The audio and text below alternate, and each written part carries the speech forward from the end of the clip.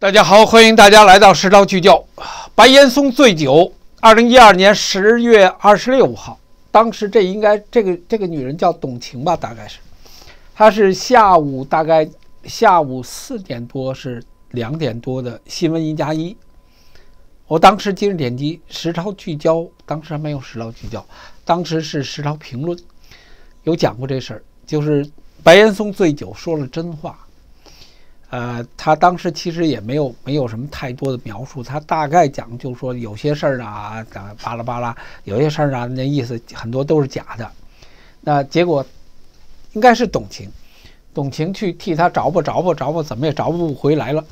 所以后来就有白岩松在解释自己醉酒的事儿。白岩松醉酒，呃呃，然后说自己没醉酒。那我们讲的就是说。酒后吐，酒后吐真言，老爷们儿一 老爷们儿，呃，他不过如此。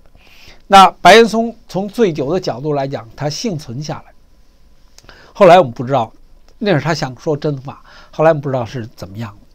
那现在出现了一个躺平文化，我刚才在我节目中加进去了。这是一个，因为我在拍节目的时候，我是这么顺着来拍下来，所以这是这段是加进来的。那白岩松呢？结果就提到去抨击了现在的躺平文化。那今天的躺平文化，跟九年前白岩松你自己醉酒有多大区别？所以一个人在今天中共国的环境当中，他的道德的沦丧，他的环境与道德的沦丧，啊，已经失去了酒后吐真言的这样的基本的一点点生命品质的白岩松，遭到了这个。不同的女呃，不同年轻人们躺平的年轻族的人们的抨击，所以管他叫大爷。说你叫你这个白大爷，大爷呢，在北京话里头骂人的，北京街头话是骂人的。啊，跟大家分享一段视频。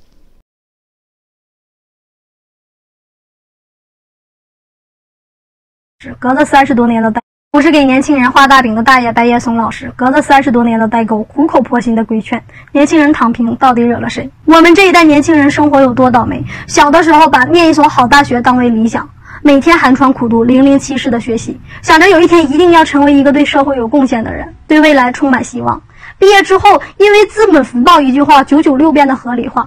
连不到二十个人的小公司都在奉行“地球不爆炸，我们不放假”。当睡觉成了奢侈，买车买房成了欲望，谈恋爱成了奢求的时候，我们知道未来的大饼解决不了现实的饥饿。在社会内卷化的今天，努力的性价比越来越低。不是我们努力工作后，资本就能给到我们相应的结果，因为资本根本没有时间等年轻人存够更多就一次性榨干，赚不到钱也攒不下钱。因为经常熬夜加班，每一天掉的头发跟时日不多了一样，所以越来越多的年轻人只能选择。跟自己和解，平躺、佛系、丧文化、裸辞、社恐、怼老板，成了年轻人的标签。难道大家不知道努力奋斗吗？只是自己无力改变的时候，爱谁谁吧。我只要我以为躺平可耻吗？躺平消极吗？我们只是不愿意被资本的节奏牵着鼻子走。我们只是希望多一份自己的生活。躺平文化只是和吃人的资本 say no 的一种形式，并不是自我颓废。我们依然会变得更好。所以，叔叔阿姨大爷们，不要再抨击我们年轻人了，你们代表不了我们。年轻人不缺奋斗的决心和信心，缺的是奋斗路上的那束。生三胎，生三胎，生第三胎。有人说一个都不想生，那讲这些话都是后来的朋友。我说后来的朋友是指，啊，七九年是七九年是八零年，呃，那时候逐渐在讨论。好像有讨论是不是生两，但应该是没有。生两胎的故事刚是两三年前的事儿，我都我这显然跟时代没跟上。那我就讲我小时候，我小时候看都是记歌的，啊，都是都是都是给打个结，到处都是打结的，对吧？到处都是到 到处都是记歌，记一老爷们扣就给你记死你了。甭管是北京城还是农村。那个学术词儿叫结扎，是吧？那我说就是就是给你系上就完了。那有的是给系上，有的是给你就那这是当时的状况。呃，今天让生第三个，这是一种因果报应的过程。那它对和错呢？其实在我眼睛里呢，那大家生活在中国，就是这么一个中国的环境。那我看到的不是，我看到是另外一个，因为你这东西，你你就你不说共产党好吗？共产党让你生仨，你生不生啊？共产党当初让你系扣，你系不系？那不系也得系啊，系也得系啊。那个 那不是你想不想系的问题。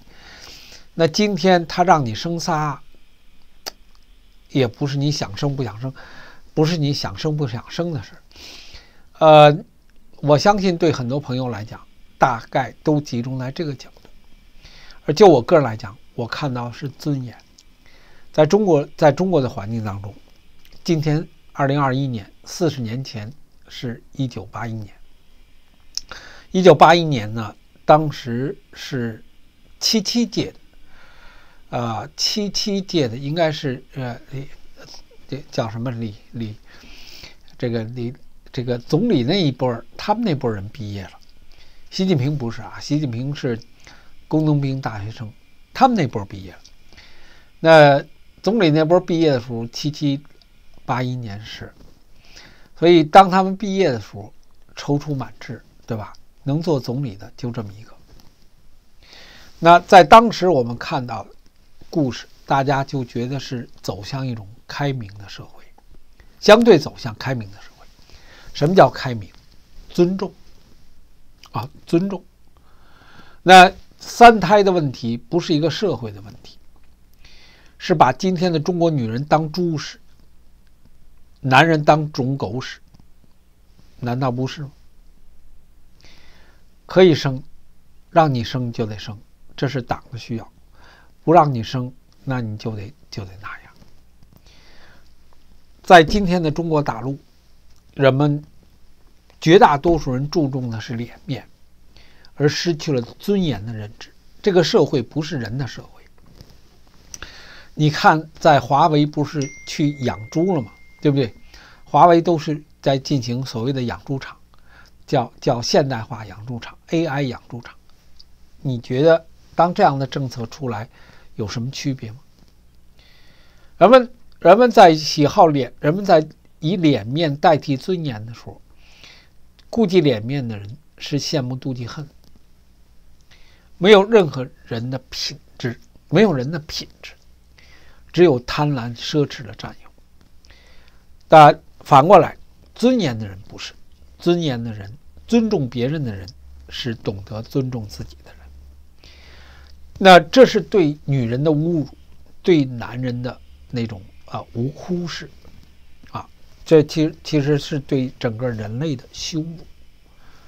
在今天的中国，那中共的政策就表现出，在他眼睛里，中国人不是人，只是他们需要的东西，只是他们需要的东西。中国人不是人，只是他们需要的东西。在这个统治之下，这是高级动物的。当人们不信神的时候，这是高级动物的自然的归属。肯定在中国社会，很多人是赞许这样的说法，肯定有。所以这是我个人节目中一直说的，我从来没骂人，骂的都是高级动物。人是神造的，咱从来不会骂。那当人把自己当成高级动物而拒绝神的时候，你就没有尊严可言，就是驴啊。在我眼睛里，真的就是驴，所以这个东西出来，就不是一个，不是一个，我这是按照需要所做的，对吧？啊，那更不用谈谈论说尊重女人、尊重妇女、尊重都没有，全都是气场。所以，所以就我我以为，那当然你可以说这个社会在走向崩溃了，再怎么样了，老龄化那都瞎，我眼睛里都是瞎掰了，真的，我眼睛里是瞎掰的。啊，人们失去了尊重，其他都是无所谓，都是方式方法了。呃，另外一个就是躺平了。那躺平，我就找找，这都是在一起出来的。啊，找马云，马云没有躺平的。中国发展高层论坛，他后头老有个椅子背儿，他想找了半天躺平，他都没躺平。今天马云想躺平，他躺不平了。啊，马云想躺平，躺不平了，呃，是他奋斗的结果，对不对？这是他奋斗的结果，这是在秉承着相应的所有的过程当中，走到了今天，走到了今天的故事。那躺平，有人说成为文化，成为这个，成为那，躺平在我眼睛里就是一份抗争。那抗争的原因，其实它暗含着一份尊严。那马云，谁给予他尊严？他给予谁尊严？他今天只有在，如果他不躺平的话，他没有躺平，他是今天。中共所宣传、所用想去用它去教育那些想去躺平的年轻人，但你把他给干了，他想躺，这时候他想躺下，他躺不下了。这是一个很很非常现实，它同样是源自于高级动物的缘由，同样源自于高级动物的缘由。啊，在我眼睛里，呃，这是刚刚看到躺平文化说了说了很多了。这是刚刚看到一个女孩子，网上去去分享的她一段对躺平文化，那个那个听起来是东北女孩，呃，嘴皮子非常利索，而且是有着现代的一种文化的，就是现代流行街头文化的一些用词，什么九九六这些，她在阐述了她为什么要躺平。那这个社会没有任何年轻人的未来，因为没有任何人去尊重他们，对吧？没有做，它里面讲述了，到了一个公司，说二十个二十个人的小公司，地球不爆炸，我们要我们就就活着干，死了算，活着干，死了算。那是我们当初，我我在年轻人，我应该比他们还年轻的文革的时候去讲的，活着干，死了算。到了邓小平的时候，叫时间是金钱，这些都是在放纵欲望。自动放纵人的欲望跟贪婪时所驱使的，那强迫生三胎呢？那那东西也能强迫，强迫生三胎呢？这是国家的需要。那躺平文化呢，就变成了一个啊，毫就是未来毫无人的尊严与希望的一个环境下，人们的抗争。那年轻人呢，他在里面直接讲，想在公司来待着，就得跟这跟跟老板就得啊要。要一丝不苟，就是什么，要赤赤啊，真诚相见，对吧？不能有身上不能有任何遮掩，这衣服是遮掩，跟老板谈话就得不能有任何遮掩，这是对老板表现出对在公司表现出的真诚。所以在公司里，一个女孩子、男孩子不能有任何遮掩，这个衣服都是遮掩的话，那跟共产党说，今天我让你生三胎。三十年前我让你打个结，是一样的，所以我眼睛里就是这个社会不是一个人的社会，是一个毫无尊严，已经缺失了尊严。为什么缺失了尊严？信仰，信仰。人们当只剩下肉的时候，这是一种相互欺诈的表达。那这份肉的欺诈的表达就变得非常的自然跟真实啊。所以这是我个人讲的。躺平文化，你不用讲那么多，它是真正对这个社会的抗争，因为它没有力量。啊，呃，当共产党，共产党不是人，当共产党去领导人的时候，人的抗争只能是靠这样的被动的。那我我我不招你不就得了吗？对吧？啊，我不招你不就得了？所以跟大家分享这段视频，作为这期节目的结束，因为我不想，因为是版权问题了。呃，他说的是东北话。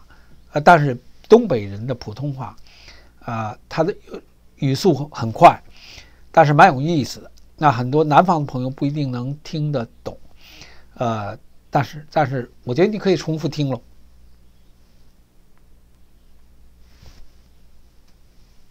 我是给年轻人画大饼的大爷白岩松老师，隔了三十多年的代沟，苦口婆心的规劝。年轻人躺平到底惹了谁？我们这一代年轻人生活有多倒霉？小的时候把念一所好大学当为理想，每天寒窗苦读，零零七式的学习，想着有一天一定要成为一个对社会有贡献的人，对未来充满希望。毕业之后，因为资本福报一句话“九九六”变得合理化，连不到二十个人的小公司都在奉行“地球不爆炸，我们不放假”。当睡觉成了奢侈，买车买房成了欲望，谈恋爱成了奢求的时候，我们知道未来的大饼解决不了现实的饥饿。在社会内卷化的今天，努力的性价比越来越低。不是我们努力工作后，资本就能给到我们相应的结果，因为资本根本没有时间等年轻人存够更多就一次性榨干。赚不到钱，也攒不下钱，因为经常熬夜加班，每一天掉的头发跟时日不多了一样，所以越来越多的年轻人只能选择跟跟自己和解。平躺、佛系、丧文化、裸辞、社恐、怼老板，成了年轻人的标签。难道大家不知道努力奋斗吗？只是自己无力改变的时候，爱谁谁吧。我只要我以为，躺平可耻吗？躺平消极吗？我们只是不愿意被资本的节奏牵着鼻子走，我们只是希望多一份自己的生活。躺平文化只是和吃人的资本 say no 的一种形式，并不是自我颓废，我们依然会变得更好。所以叔叔阿姨大爷们，不要再抨击我们年轻人了，你们代表不了我们。年轻人不缺奋斗的决心和信心，缺的是奋斗路上的那束